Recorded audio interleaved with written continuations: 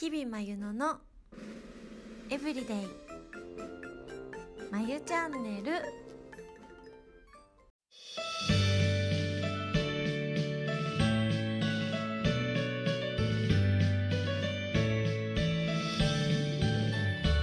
この度は整備士を選んでくれてどうもありがとう。ご利用の前にこの取扱説明書をよく読んでずっと正しく優しく扱ってね。一点物につき返品交換は受け付けません。ご了承をください。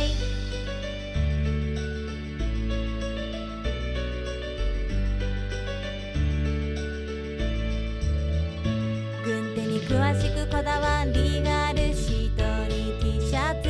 着せるのは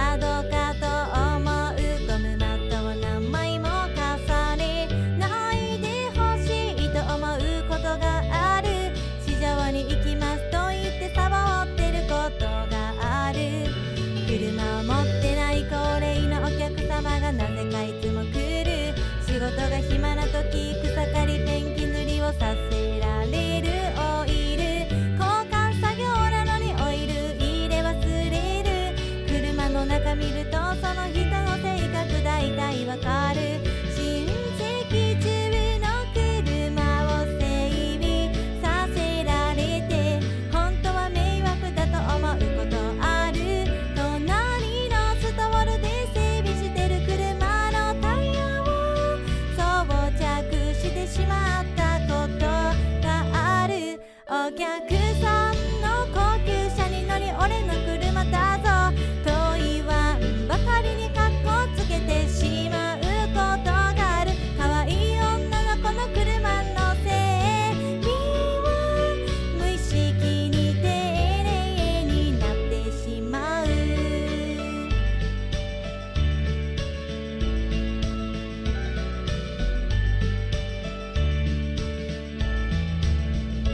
最後までご視聴いただきありがとうございます。